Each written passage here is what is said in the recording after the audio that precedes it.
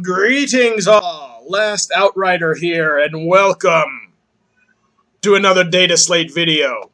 This time, we're going to bring you a special formation, but I'm going to let you guess who it is while I read the fluff. There is one whom the masters of the Dark Angels seek above all others. He is a being wrapped in shadow an entity whose every move is cloaked in mystery. His motives and methods are themselves an enigma. Even the name or title by which he is known seems to conceal something. Although whether it is a metaphor or yet another conundrum is unknown. He is Cypher. And to the Dark Angels, he is nothing less than their most hated foe. As to whom or what Cypher truly is, none can say. Those who have witnessed him in action report that he wears but a simple ceremonial robes, much like many of the dark angels. Beneath his garment can be seen the thick plates of dark power armor, more damning still, however, is the fact that no matter where in the galaxy Cypher surfaces, it is only a matter of time before the Dark Angels, or one of their successor chapters, follow. The Dark Angels ask many questions, but give no answers themselves. Despite the constant search for Cypher, none have yet been successful in capturing or destroying him. Or so it would seem. The Dark Angels have considered Cypher destroyed on numerous occasions, yet he always returns. The Red Corsairs, still seething after they believe was their betrayal during the Escovan campaign, thought they had cornered the elusive Cypher on the strike cruiser Rapier in the deep emptiness of space, they halted the rapier, and when they boarded, found only cultists. Before they were all slain, none of the cultists could verify the whereabouts of the mysterious space marine who had been in their midst. Nor could they tell how he escaped. now, in my campaigns, I'm going to tell you how I worked out the history of Cypher. I have no idea what GW does, and I don't really care. I still play 40k like it's an RPG. Okay, so I basically make my 40k universe. And I consider whatever people write in the novels to basically be that author's 40k universe. It's probably because since I've been playing since Rogue Trader. But if you are playing in mine, the secret of Cypher is simple. He's Alpha Legion. What do you mean? Alpha Legion, during the Horus Heresy, was infiltrating all of the legions. Loyalists, heretics, whatever. That's their specialty. They go in and they become other Space Marines. Hell, they almost assassinated, what? Guilliman.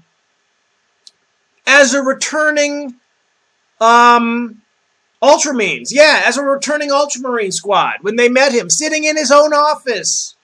He had to kill 10 of them.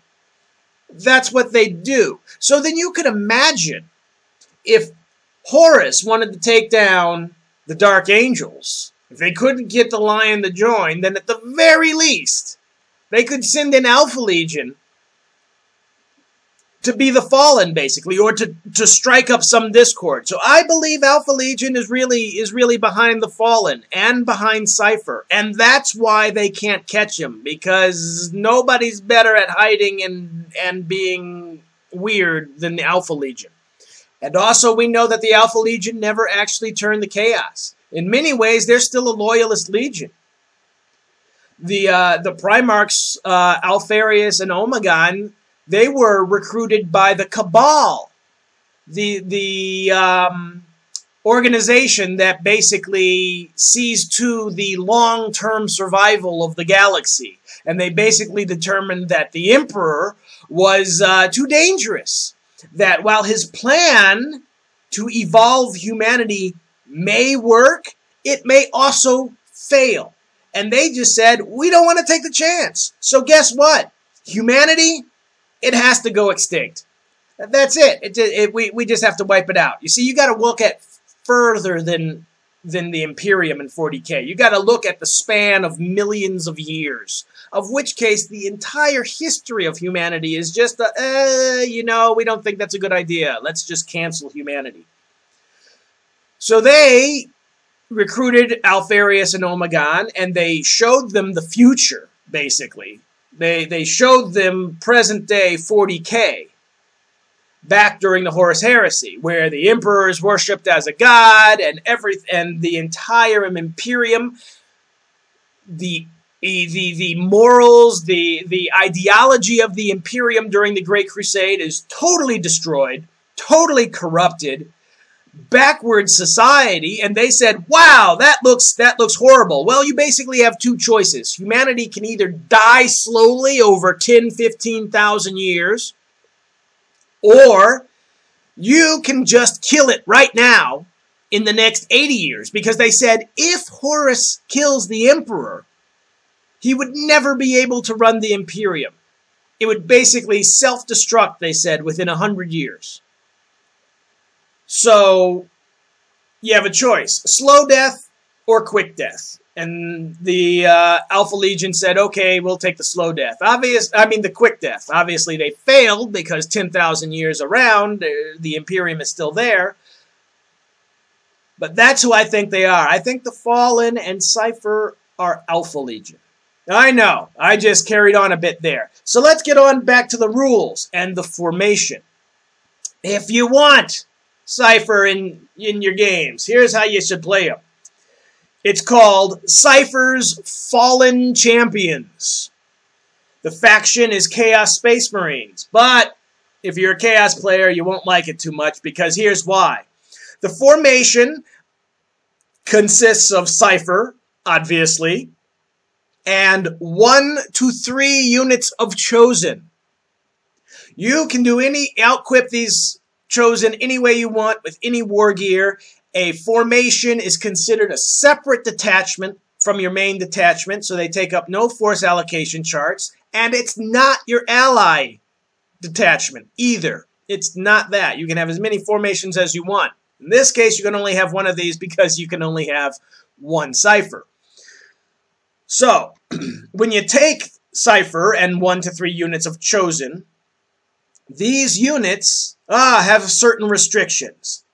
One, the units of Chosen from this formation cannot take any Chaos rewards, any Chaos artifacts, and no marks of Chaos, and finally, no dedicated transports. So you see what I mean? That's why I'm looking at Alpha Legion here. Because they're Chaos Space Marines, but they're not allowed to use anything from Chaos. So what do you get for if that? Okay, what are the advantages? Well, the first thing they get is that Cypher and these 1 to 3 units will all gain infiltrate ability. Which is really insane when you consider 3 units of, of Chosen can infiltrate. They also get two other special rules. Uh, Fallen Leader, yeah, another another ironic. Got it. Cypher, fallen leader, obviously. Any unit from this formation that is within 12 inches of Cypher must, not optional, must use his leadership characteristic instead of their own for any leadership tests. Is that awesome? Yes. What's the second special rule? And now, once again, if you don't think that they're Alpha Legion, this one will definitely make you think it. The next special rule that these three units of Chosen get, and Cypher, is the no, no fear. they shall know no fear special rule. So yeah, if you're a Chaos player, here's your chance to get no no fear units. And finally, I don't, this is a special rule, but it doesn't help them. In missions that include both Cypher and Dark Angel models, all Dark Angel models with the Inner Circle special rule also receive the Zealot special rule. So there you go. Like I said, I think it's Alpha Legion. Just the sky pretending to be Dark Angels. But that's me. I hope you like it. And until next time, bye.